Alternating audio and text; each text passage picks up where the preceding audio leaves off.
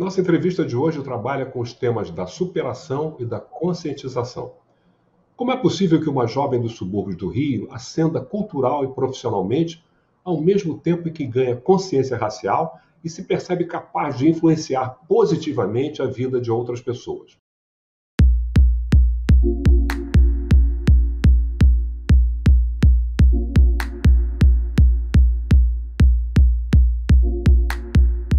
Fórum Estadual de Performances Negras do Rio, ele começa primeiramente a partir de uma provocação do Fórum Nacional para que se criassem fóruns estaduais e fóruns municipais em territórios espalhados pelo Brasil.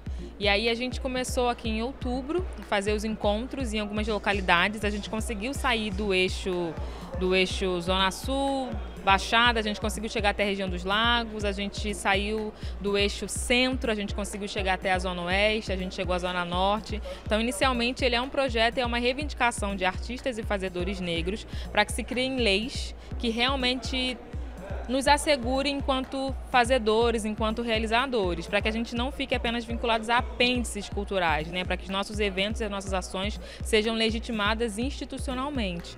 O fórum, ele primeiramente é uma conversa com a instância pública, é uma conversa com os agentes públicos da política institucional, que na verdade são as nossas vozes, enquanto agentes institucionais. Acho que a gente está numa construção. O desejo nosso é que esses agentes políticos eles tenham um olhar para essa arte negra no campo do estado do Rio de Janeiro. A gente está pensando em criação de leis que atinjam até a geração do meu filho, por exemplo. Né? A gente não está. Obviamente que a gente quer que algo seja reparado agora, que algo aconteça agora, mas é um projeto que tem uma vida longa, que não pode terminar com essa equipe daqui. É um projeto que ele foi iniciado por articuladores, mas que ele é aberto à entrada de outras pessoas, então ele, ele foi um pontapé mas um pontapé que se pretende ser uma construção para uma realização duradoura, um projeto a longo prazo. Então, o macro dele Acho que vai ser quando a gente de fato conseguir uma legislação que nos permita pesquisar as nossas linguagens cênicas, que nos permita viver das nossas artes, porque a gente sobrevive enquanto artistas e produtores, a gente não consegue viver. O que entra para a gente enquanto rentabilidade econômica para os artistas que estão num viés que não é o midiático é algo que é muito, muito voltado para o sustento. Um sustento que é muito, muito básico também, né? Então, como que a gente consegue efetivamente viver? Como que eu consigo ser atriz sem precisar procurar outros trabalhos, sem necessitar me encaixar em outras profissões porque eu não consigo viver da minha arte? Então, quando a gente pauta viver, é essa é literalmente a gente ter o nosso salário mensalmente, por exemplo, ter um cachê que nos assegure que a gente consiga, como o Sidney falou hoje mais cedo, pagar os leites das crianças. Então, o macro é quando a gente conseguir de fato viver como artista. Em nosso programa, temos conversado com pessoas brilhantes com diferentes carreiras, geralmente de origem humilde, e que conseguiram superar condições adversas, tornando-se modelos de comportamento social. É o caso de nossa entrevistada de hoje. Nascida e criada em Brás de Pina e tendo inicialmente frequentado igrejas evangélicas, fez o fundamental numa escola particular e numa escola pública, o ensino médio em escolas para formação de professores e a graduação em letras na Universidade Veiga de Almeida. Começou a fazer teatro na igreja, mas considera que sua formação profissional se deu no grupo de dança afro Kina Mutembwa, na Cidade Alta. Virou assistente do grande diretor Domingos Oliveira e depois trabalhou na Arrudeia Filmes. Foi então convidada a participar de um espetáculo de dança que faria uma temporada na Holanda, num projeto de intercâmbio entre artistas do Brasil, Índia, Gana e Quênia. E foi nos ensaios do grupo, que lhe deram a oportunidade de pisar pela primeira vez em solo africano. A partir daí, começou a atuar com regularidade até ser contemplada no edital da Funarte para a produção da peça Mercedes, sobre a grande bailarina negra Mercedes Batista. Criou então a EMU, que defende como produtora, companhia de teatro e núcleo de pesquisas, e tem trabalhado em peças como Ultrajado, Uma Ocupação Negra, Olhos da Água, baseado num conto de Conceição Evaristo, Segunda Black, que ganhou o prêmio Shell na categoria Inovação. e também é pré-candidata a deputada federal pelo PSB. Vamos conversar com a atriz, dançarina e ativista Sol Miranda. É muito prazer recebê-la no nosso programa Cult em Resenha, divulgando uma carreira que, sem dúvida, não é para qualquer um ou para qualquer uma. Seja muito bem-vinda. Sol. Para mim é um grande prazer estar aqui nesse programa, dessa que é uma das maiores plataformas que a gente tem no mundo da cultura negra. Então, Estou realmente muito honrada de estar aqui com vocês. Só você nasceu e foi criado em Praia de Pina e hoje mora em Botafogo.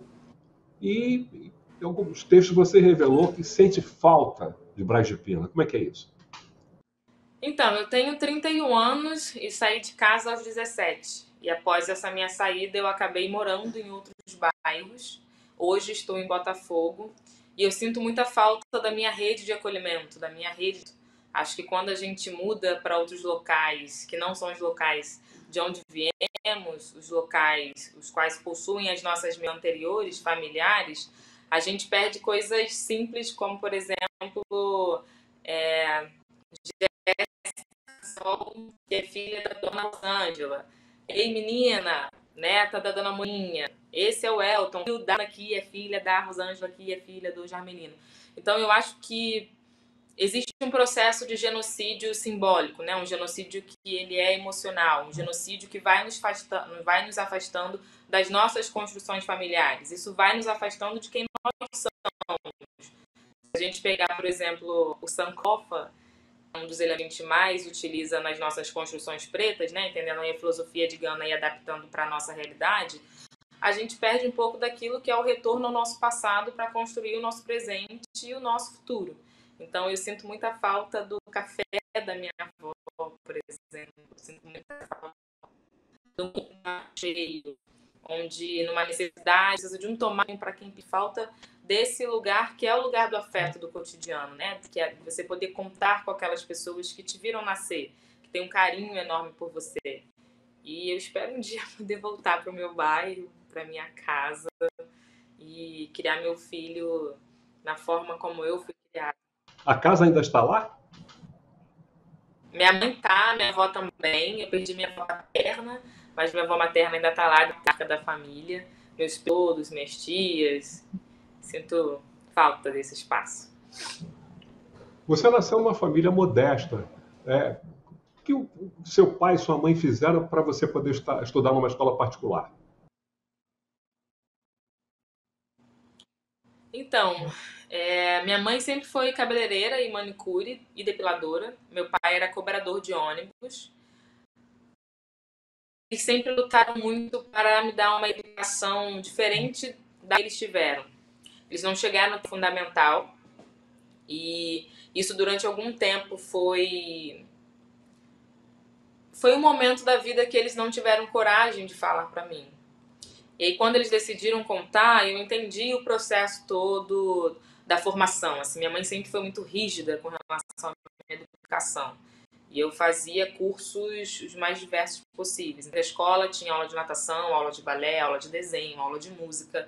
E sempre com muita batalha para conseguir pagar as escolas particulares, porque para minha mãe, basicamente, era uma estar numa escola, estar numa escola particular que me desse outras condições de educação, de formação, de entendimento e linguagem de mundo, né, de leitura de mundo.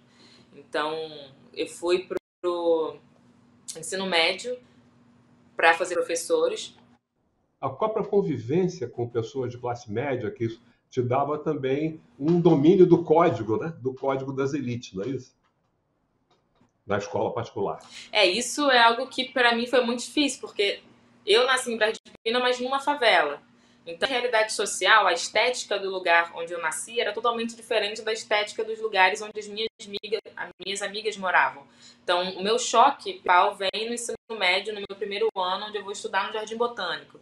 E ali a realidade era realmente totalmente diferente, né? Passar pela Avenida Brasil, atravessar essa ponte que liga a Zona Norte ao centro e depois a Zona Sul, entender que tem uma diferença na paisagem, que, o, que a questão urbana ela né, entender quais são esses elementos do lugar onde eu morava que que de alguma forma me estava e quais eram os místicos dessas pessoas que estavam comigo no dia a dia e que de alguma forma também nos afastavam, né? Acho que entender o código também era entender que nós tínhamos diferenças, que podíamos nos comunicar e construir relações, mas que havia também é, processos que se distinguiam. Isso não foi fácil de assimilar ou de aceitar no primeiro momento, né? Sobretudo quando a gente vive num contexto racial e socioeconômico em que lugares, territórios são tidos como marginalizados, né? E pessoas que vêm desses territórios são tidas como pessoas menos suficientes, menos, menos críticas, menos educadas, menos menos capazes. Menos capazes. Então foi isso, assim, para mim foi um movimento, mas foi muito importante, porque de alguma forma também minha mãe não me deixava perder o orgulho de ser quem eu era. E de lembrar de todo o esforço e de toda a dedicação que ela e meu pai tiveram para me criar e para me colocar é, em determinados espaços, para me dar uma formação que na cabeça dela seria melhor, né? Enfim. E nesse ambiente, a questão racial já pesava? Havia um atravessamento racial e socioeconômico que nos distinguia.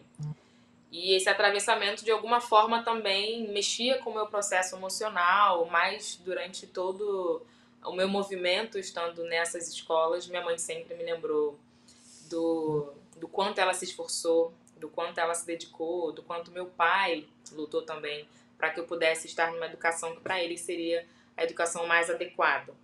E para nunca esquecer também de ter muito orgulho do espaço, do território onde eu cresci, nasci e me construía. De certa forma, você representava, você era uma representante desse território nesse espaço é, de classe média.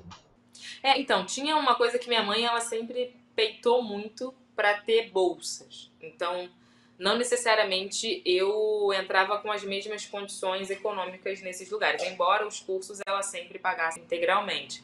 Então tinha uma coisa também que era interessante, que depois eu só fui entender no futuro, eu mudava muito de curso. Então praticamente todos os anos eu mudava. Eu fazia um período de inglês e no outro ano eu fazia o segundo período numa outra escola, o primeiro período de música em uma, o segundo na outra. Minha mãe ela foi acumulando dívidas. Então ela não conseguia terminar as mensalidades do ano e ela ia pagando aos poucos no futuro, mas ela, para eu não perder os anos, ela me trocava de escolas. Então, tem algumas estratégias que elas são muito cruéis, né? Porque, obviamente, essas dívidas elas se acumularam durante muito tempo. Uma, uma coisa que parece marcante na, na, na sua vida é o fato de você ter frequentado inicialmente igrejas evangélicas, Assembleia de Deus, Igreja Presbiteriana, mas nós vamos falar disso no próximo bloco.